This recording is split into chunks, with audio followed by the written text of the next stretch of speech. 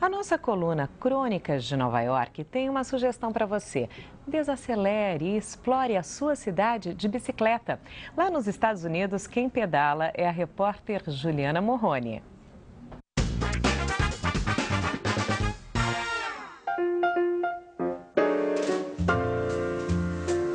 Ensolarados, tardes longas, o verão é a estação ideal para o novaiorquino usar um dos meios de transporte favoritos.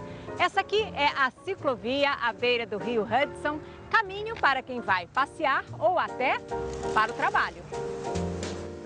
Nova York tem mais de 300 quilômetros de ciclovias. Ter carro aqui é ter um problema. Faltam vagas, o trânsito vive engarrafado. Quem é chique vai de bicicleta. Alguns modelos fazem a gente voltar ao passado, pensar naqueles tempos do cinema mudo.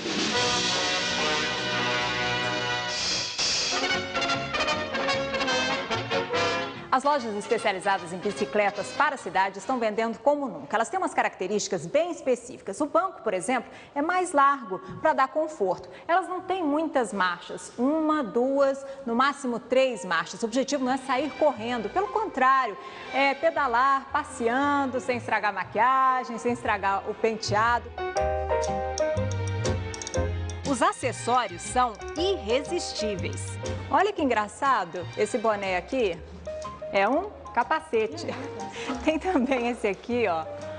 Aparentemente é um chapéu australiano, né? Olha lá, super proteção, capacete de bicicleta. Nos tempos modernos, o antigo custa caro. O preço, 130 dólares. Dá mais ou menos uns 250 reais. O cestinho, hein? Júlia é dona da loja. Ela mostra que o modelo retrô é ótimo para quem quer ir para o trabalho de bicicleta. Dá para pedalar de saias, levar o notebook aqui, jornais na frente, quem sabe umas é. flores. Maybe some flowers here. Your laptop. Andar pela cidade de bicicleta, além de ser chique, é um jeito ótimo de apreciar a arquitetura.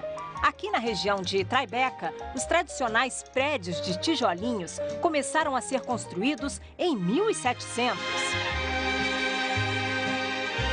Já este de estilo renascentista é de 1910. Pertencia a uma empresa que vendia lã. Hoje é um edifício residencial. Nesta rua, onde havia fábricas em 1800, agora estão apartamentos de luxo. De bicicleta, a gente vê a vida preguiçosa na cidade agitada. As caixas d'água sobre os prédios, marca registrada de Manhattan. A sensação é de passar por um túnel do tempo sobre duas rodas.